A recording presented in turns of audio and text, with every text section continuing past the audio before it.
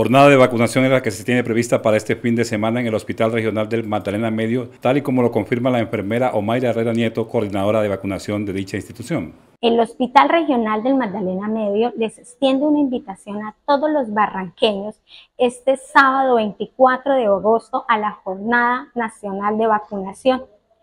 Estaremos en nuestro punto fijo en el primer piso desde las 7 de la mañana hasta las 4 de la tarde, horario continuo. Esperamos a todas las familias, tenemos disponibilidad de biológicos del país regular, vacunas contra el COVID-19.